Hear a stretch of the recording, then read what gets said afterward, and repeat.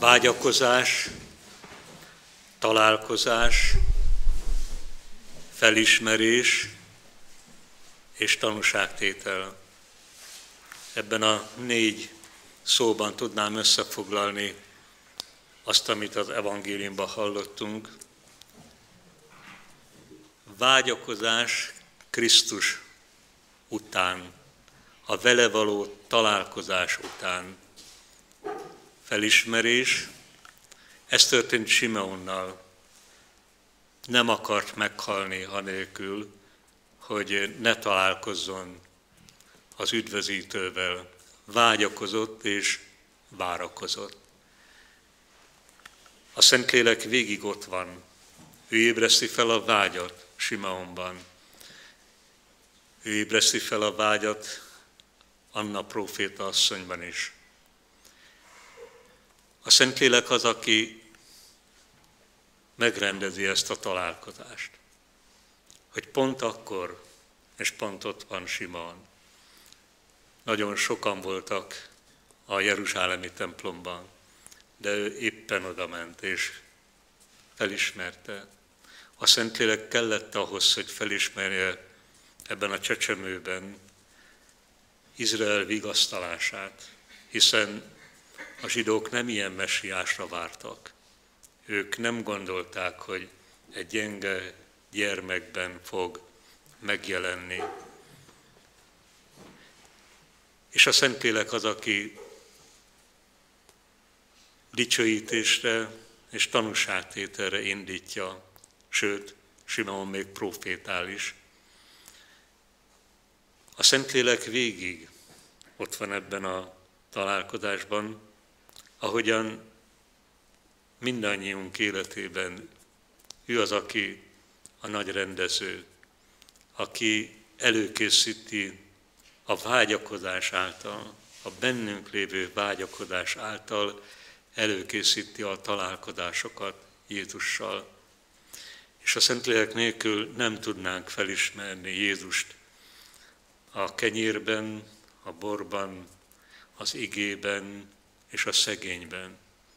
Kell a Szentlélek ahhoz, hogy megnyíljon a szemünk, és felismerjük az élet igéjében, az élet kenyerében, és a megtört emberekben jelenlévő Krisztust. És Szentlélek nélkül nem tudunk tanúságot tenni, nem tudunk róla beszélni. Ezt is a Szentlélek intézi a mi életünkben is. Elhangzik egy profécia Simon részéről. Az ellentmondás jele lesz, mondja Jézusról Máriának és Józsefnek Simon, hogy megnyilvánuljon sok szív érzése. Jel, amelynek ellene mondanak. Ez nem csak Jézus földi életében volt érvényes ez a profécia, mind a mai napig érvényes. Sőt, úgy tűnik, hogy nagyon közeli ennek a proféciának a beteljesülése Európában és hazánkban is. Jel, amelynek vagy akinek ellene mondanak. És megnyilvánul sok szív érzése. Jézus az ellentmondás jele. Nem lehet közömbösen elmenni ő mellette.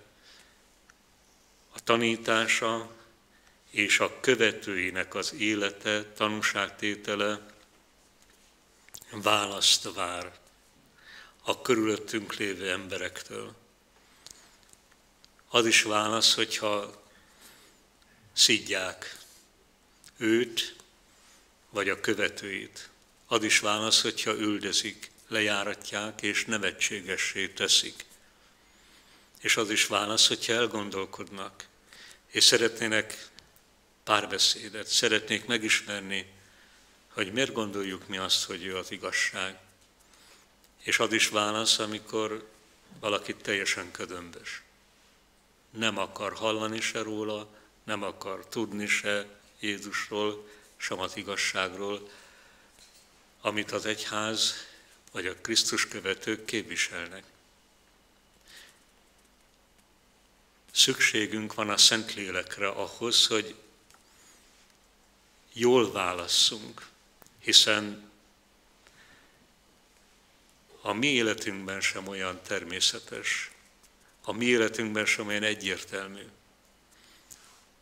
Most még nincsen nyilvános üldözés, mondjuk a, hazán, a mi hazánkban. De lehet, hogy egészen közel van. És akkor megnyilvánul, hogy mi van a szívekben. Az üldözés, a szenvedés, a próba, az megrostálja az egyházat, megrostálja a keresztényeket is. Próbára tesz bennünket, hogy amiben hiszünk, vagy akiben hiszünk, azt mennyire gondoljuk komolyan. Mennyire vagyunk hajlandók áldozatot vállalni, tanúságot tenni bármi áron. Krisztusról és az igazságról. Ma is jel az Úr Jézus Krisztus, akinek egyre többen ellene mondanak. Hol intézményesen, hol egyénileg, hol kulturálisan, hol törvényileg, de ellene mondanak.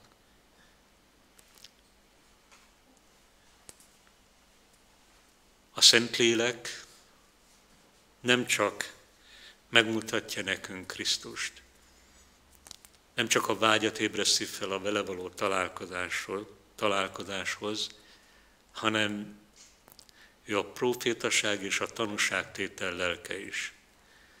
És ha kérjük, mindegyikünknek megadja azt az ajándékot, hogy egész lényünkkel, szavainkkal, tetteinkkel, és ha kell az életünkkel tegyünk tanúságot az igazságról, a megismert igazságról, aki maga az Úr Jézus Krisztus.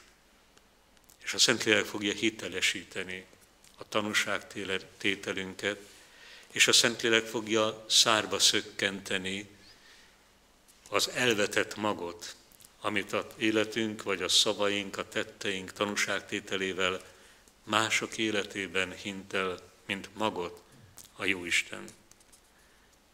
Bízzunk nagyon a Szentlélekben. Bízzuk rá magunkat még jobban a Szentlélek vezetésére, és akkor megdicsül a mi életünkben is a mennyei Atya, az Atya, Fiú és a Szentlélek nevében.